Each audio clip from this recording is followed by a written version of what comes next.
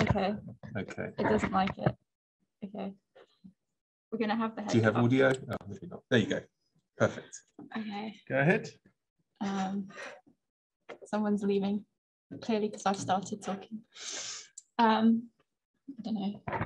Okay, hi, uh, can, can they hear me? Can you hear me? I assume you can hear me. Hi, um, I'm Maria. I'm a third and hopefully final PhD, yeah, PhD student at Loughborough. Um, and I'm going to talk a little bit about the possible links between hearing loss and dementia, um, and then talk a little bit about a few of my studies from my PhD. So first thing I was going to say was um, that hearing loss is a global, growing global concern, but Dali has kind of already talked to you a little bit about that. Um, but what I will add is that younger adults are at a greater risk um, of developing hearing loss um, due to noise exposure and um, lifestyle behaviours like attending concerts and, and things like that. Um, and there's been this kind of growing interest in the relationship between um, hearing loss and cognitive decline and dementia. And a number of systematic reviews have recently found that hearing loss increases the risk of uh, mild cognitive impairment, Alzheimer's disease, and dementia. Um, it's been quite well established that there does seem to be some kind of association. Um, and a recent Lancet review that came out in 2020 on the modifiable um, factors, um, dementia prevention and modifiable risk factors um, for dementia found that hearing loss was the greatest modifiable risk factor um, for dementia. So there's clearly a relationship here, but we're not really sure why. Um, so I'm going to just very kind of quickly outline three possible explanations for this association. So the first one is the common cause pathway. And this suggests that there's not actually a causal relationship between hearing loss and dementia, but they're both um, expressions of widespread neurodegeneration. And that microvascular damage in the cochlea, so in the ear, um, could just be an early expression of uh, a more widespread vascular um, disease. And support for this comes from evidence that both hearing loss and dementia um, have a number of common risk factors such as cardiovascular disease, diabetes, hypertension, physical inactivity, and smoking. So based on this model, um, dementia risk might be modifiable for adults with um, hearing loss through lifestyle behaviours such as increasing physical activity and smoking cessation.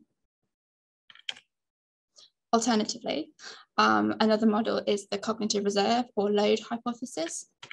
So this is based on the assumption that we have a finite number of cognitive resources and things like early life education, which probably links back very well to Dahlia's talk, um, increases the number of cognitive resources that we have available. Whereas hearing loss acts as an additional cognitive load. Um, which can decrease the number. So one way that this might work, if you can see the diagram, is that someone with normal hearing may be able to equally divide their cognitive resources between processing auditory information and carrying out other um, tasks or activities or other cognitive processes someone with hearing loss um, may need to divert more of these cognitive resources towards processing auditory information, leaving fewer available for uh, other activities and tests and, and cognitive processes. Um, and this may, uh, there's a possibility this may have downstream effects on uh, neural function and structure, um, which could has been suggested to lead to potentially um, permanent changes in neuroplasticity um, and an acceleration of neurodegeneration, which increases the likelihood of dementia. So if we take this model, um, we could potentially modify dementia risk um, through hearing aid provision and use, because not necessarily the same thing. Um, having a hearing aid doesn't necessarily mean that you use it. Um, so, and the way that this would work was that if the, someone was wearing their hearing aid, they should hopefully um, be uh, not need to use as much uh, many cognitive resources to, to process information and would leave uh, more, more available for, for other activities and um, processes. And the third one I'm going to talk about is the psychosocial cascade. So this is based on the idea that the communication difficulties that arise as a, a due to hearing loss um, often mean that people uh, withdraw from or avoid social interactions and social activities, which puts them at greater risk of social isolation and loneliness. This in turn increases the risk of, of depression. Um, and depression in itself um, has been found to be more prevalent in people with hearing loss. And on top of that, social isolation and depression are in themselves uh, risk factors for dementia in later life. So it's all a bit it's all a bit complicated, but really what this model suggests is that hearing loss sets off this cascade of negative psychosocial events that kind of build on each other and add on each other and increase this risk of dementia. I hope I've explained that okay. Um, so based on this model, we might say that we could reduce dementia risk um, in people with hearing loss through psychosocial interventions, which might be improving social engagement uh, and, and social well, uh, psychological well-being. In reality, it's probably a bit of a mixture of all these different uh, models that all contribute to the increased risk of dementia. Um, and I will note as well that I have just given three very simple models. They tend to be a lot more detailed. There are other models uh, there are submodels of these, um, but I just wanted to give a very brief kind of overview of three of the most common. Untangling these underlying mechanisms are kind of beyond my PhD and my own capabilities, but it's really important to understand the conceptual associations um, so that we can see how and where we might be able to intervene to reduce the risk of dementia in this, in this population. And one thing we are particularly interested in is physical inactivity. Um, so there's recent studies have started looking at this and um, one that came out last year found that older adults um, with hearing loss engage in around 30 minutes less physical activity each day than those um, the normal hearing counterparts. Um, and this accelerates aging um, and I'm sure all of you know that physical inactivity is also a risk factor for dementia. Um, it's a risk factor for cardiovascular disease and diabetes, and all these things seem to be interacting with hearing loss. Um, one of the caveats of kind of the research that I've talked about so far is that it's all been done in older adults. So one of the things that I've done as part of my PhD um, is look at hearing across adulthood, so from 18 to 87.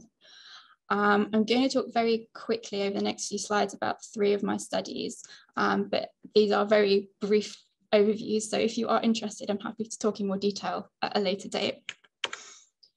Um, so Okay, so the first uh, study we looked at was um, we did an online um, survey where we looked at almost 500 people um, across the adult lifespan with and without hearing loss. Um, and this was part of a study that looked at a whole range of things with different validated self-report measures. So we looked at hearing, cognition, uh, demographics, uh, lifestyle behaviors, cardiovascular health, all sorts of things. And we found that basically age was associated with everything. Um, so because of that, we um, did a, a median split. So we split the sample. So we have a younger and older group. And what we found was what you're seeing, sorry, are the final logistic regression models. We found that in the younger age group, there was pretty strong relationship between uh, self-reported hearing difficulties and memory problems, where people with hearing difficulties were more likely to report memory problems, and it was almost four times as likely. But there was no association between hearing difficulties um, and sport participation or memory problems and sport participation. In older age group, which was quite interesting. Um, the association between hearing difficulties and memory problems was much weaker. Um, and in fact, in the final regression model, it wasn't actually significant. It was just a trend where people who reported memory problems were more likely to report hearing difficulties. What, what we did find was that um, people that reported hearing difficulties were less likely to be engaged in sport participation, um, but people that were engaged in sport were less likely to report memory problems. So there's kind of a little bit of support there for this, this kind of hearing, physical activity, cognition relationship. But the main drawback of this study is that everything was self-reported, um, which kind of limits the confidence we can have in the associations. So we carried out another study where we measured some of these um, variables using behavioural measures. So firstly, we measured hearing using the HearWho app, which Ahmed kindly gave a little shout out to earlier. So this is from the, from the World Health Organization, and it's a validated digit and noise test. I've also put the QR code for it on there if you would like to test it yourself. It's available on um, iOS and Android. Um, it only takes about four minutes. But basically, at the end of it, you get a score out of 100. Um, and a score of below 50 would indicate that there's uh, some degree of hearing loss. So that's what we class people as having a hearing loss. Again, we looked at the different age groups and what you're seeing are analysis of covariance where we controlled for education and gender. In the younger age group, we found that um, those that failed the hearing test or hearing screener um, performed more poorly on a test of global cognition um, and also reported greater experiences of loneliness. Whereas the older adults also performed more poorly on the global cognition test, but um, uh, were less physically active. Um, so global cognition, we had three measures of cognition, sorry, we had global cognition, uh, verbal fluency and verbal learning, and the only one that was significant was global cognition. Um, and to assess physical activity, this was done via interview, and we used the International Physical Activity Questionnaire. I meant to say that before, sorry. So collectively, these two studies kind of show that there are associations between hearing difficulties and other health conditions, but that these differ across, differ across adulthood and may require different interventions at different stages of life. And so for younger adults, we could suggest that interventions maybe focus on psychosocial well-being and hearing aid provision, because we also found that the younger adults were less likely to own or use hearing aids. Um, and for older adults, maybe we should be looking at increasing physical activity, as this would also potentially mitigate the risk of other cardiovascular diseases and diabetes.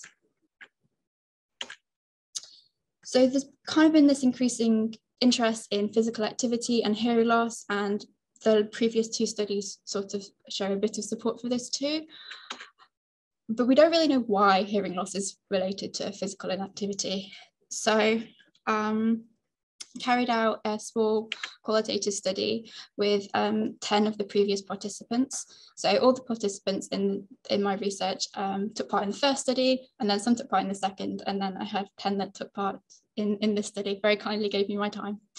Um, so this was um, developed using the theoretical domains framework and the COM-B model of behavior. These are supra uh, health behavior theories from health psychology, um, which were developed as a way of systematically um, assessing and designing behavior interventions. So rather than uh, people cherry picking their favorite kind of health behavior change model or their favorite sort of way. These provide a, a guide that allow you to develop your interventions um, based on theory and, and evidence-driven um, research. So we conducted these uh, this uh, interviews looking at the barriers and facilitators to physical activity. Um, and the way that we did this, I'll just give you a quick example. So um, the transcripts were first inductively inductively coded. David's nodding, yeah, inductive. Um, so for example, uh, one of our the themes we sub-themes that we developed was mental fatigue arising as a consequence of hearing difficulties. This is then linked to the theoretical domains framework, um, which was memory, attention, and decision processes. And then, this is then linked to the COM-B model of behavior, where this um, comes under psychological capability. Um, and the COM-B model kind of uh, poses that you need capability, motivation, and opportunity in order to enact specific behavior, and that these should be the targets for behavioral interventions. Um, so what was really interesting about this study was I've just given three examples of the sub-themes that we came up with. So got hearing loss related stigma and physical activity that exacerbates communication difficulties, um, particularly when physical activity often uh, is occurs in acoustically challenging environments such as sports halls and big open fields. Um, so we found there were both general and hearing specific barriers to, and facilitators, which suggest that um, people with hearing loss do need additional support to be engaged in physical activity. The really, really interesting thing was that hearing aids didn't overcome these barriers. Nine out of 10 of the participants were regular hearing aid users, and a number of them, well, I think almost all of them, um, didn't like wearing their hearing aids whilst being active. Uh, for a number of reasons, they would get sweaty, they would feel uncomfortable, they were worried about breaking them.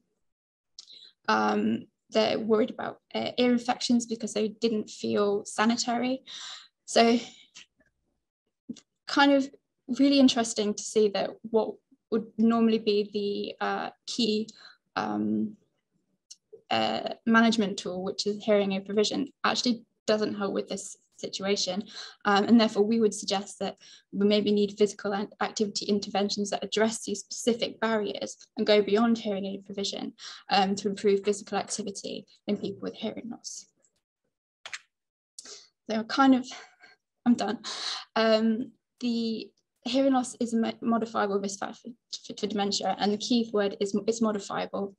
The associations between hearing and other health conditions do differ across the lifespan, and hearing aids do not wholly solve the barriers um, that people with hearing loss face. Um, and we are suggesting that behavioural interventions pose a potential avenue to support lifestyle changes in adults with hearing loss to reduce the risk of additional non-communicable diseases. Um, and my favourite quote from um, the Livingston paper is, be ambitious about prevention. Thank you. Um, next to my supervisors, Ethan David. Um, I would like to point out David is not the pigeon or seagull, sorry, but he did request that the seagull be in the picture.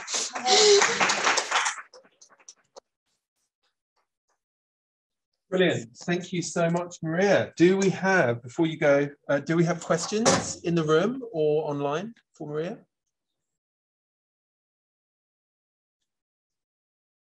Uh, no, please don't. David has a question. I just wanted to ask. Uh, so you showed that there was potentially no association in young adults with physical activity or sport participation, which was our proxy measure. But then there was this association in older adults. So I just wondered at what point in the lifespan does that kind of, do you speculate that that happens? And when should we be intervening with these physical activity interventions? I think I'm not sure because I think one of the things we have to be aware of is that the people reporting hearing difficulties in the younger age group um, possibly reporting different types of hearing loss.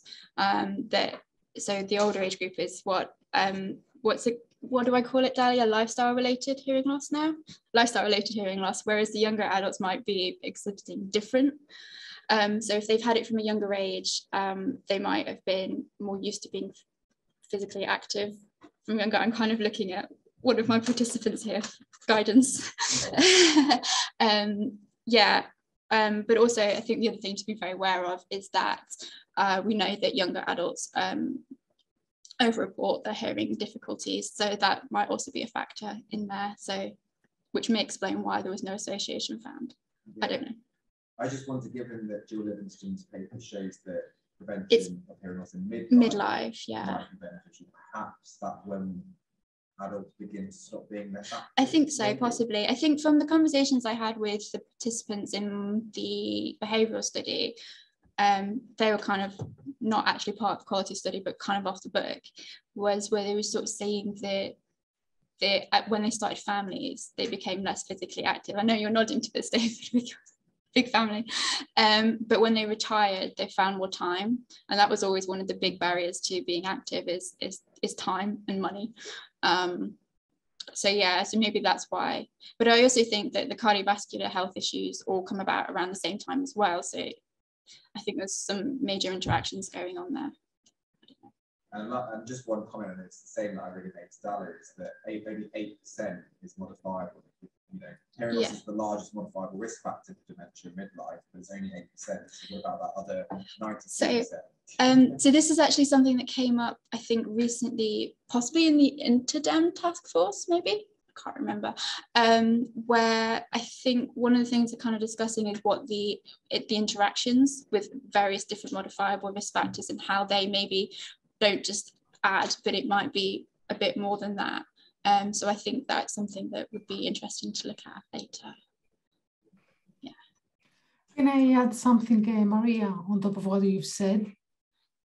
Yeah. Can you hear me? Yeah, uh, just something that uh, came up now during uh, your talk and uh, following the discussion. I think that uh, worth exploring whether perceptions of uh, aging after the onset of hearing loss possibly uh, modify the participation in uh, uh, physical activities. So I think the data set in ELSA gives us the opportunity to do that. So could potentially design a study and see I think I think absolutely because one of the things I didn't present because there was a lot of things that came up in that qualitative study was that one of the main sort of facilitators was people's sort of self-efficacy with disclosing hearing loss um, and how confident they felt in telling people that they had a hearing loss and whether and what they needed um, and that was kind of the main facilitator really to being physically active and I think you're absolutely spot on the perception of aging and like a, the the hearing loss stigma is probably really key in, in that aspect. Mm-hmm, mm-hmm. Yeah, well done. Very good work. And well done to your supervisors as well. thank you. Okay, thank you so much, Maria. Okay, well, look, thank you so much to